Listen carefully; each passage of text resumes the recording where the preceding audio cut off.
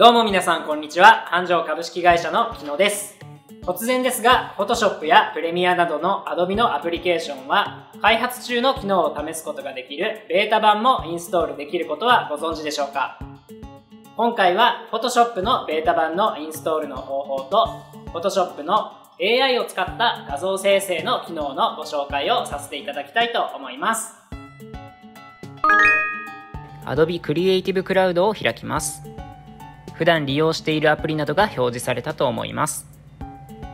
では左側のメニューからベータ版アプリを選択しましょ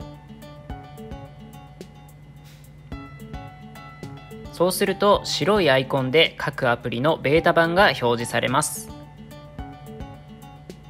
一番上にある Photoshop のベータ版をインストールしましょう。インストールが完了したら「開く」をクリックします。いつもと違うローディング画面が表示されてベータ版が立ち上がりました。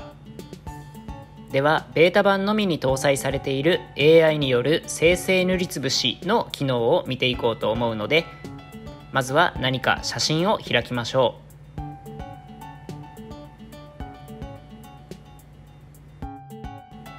ではまず投げ縄ツールを使って机の上の空いているスペースを範囲選択します。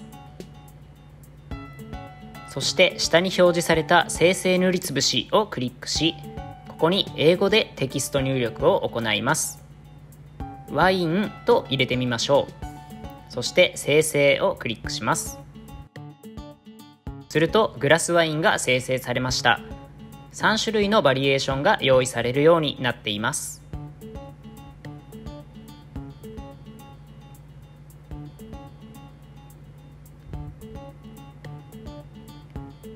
では次に顔の周りを選択して。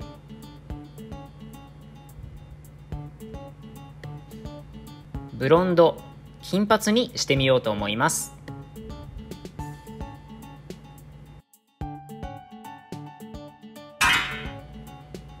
はい見てわかる通り別人になってしまいました。しかもなぜか2人です。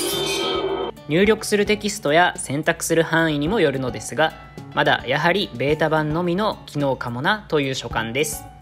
ただ今後どうアップデートされていくのかにはとても期待をしています。本日はご視聴ありがとうございました。このチャンネルでは弊社で制作した映像や仕事の様子を撮影した動画コンテンツ制作に役立つ知識などをご紹介していきます。